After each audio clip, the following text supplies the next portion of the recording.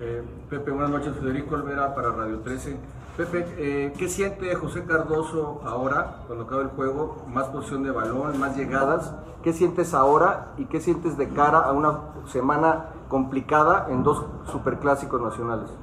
La verdad que no salí bien porque el equipo tenía que haber ganado el juego. Insisto de que nos falta peso muchas veces en el área, por eso insistimos siempre con, con Madrigal y Rooney a lo mejor ya entró un poco tarde, pero porque Alexis estaba jugando bien.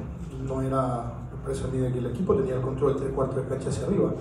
Lastimosamente nos falta gol, nos falta gol y tenemos que trabajar y tenemos que convencernos de que tenemos que, que terminar más la jugada, tenemos que, que, tener un poco más de lectura del juego también, eh, el, el, jugador dentro del campo de juego, porque muchas veces las decisiones también lo toma el jugador. La inventiva del jugador es muy importante de tres cuartos de cancha hacia arriba. Entonces, mm, yo insisto más ahí, entender la inventiva del jugador, coordinar y, terminar la jugada. Terminamos muy poco, queremos entrar muchas veces eh, casi siempre tocando y alguna vez hay que terminar la jugada. Dieter me gustó mucho el primer tiempo, disparó dos veces, eh, sorprendió al arquero, lastimosamente no fuimos, no fuimos certeros y, y, sigo insistiendo de que solamente nos faltó, nos faltó el gol. De ahí más, me parece que el equipo intentó jugar siempre y respetando siempre al rival, pero solamente hay un equipo que quería ganar.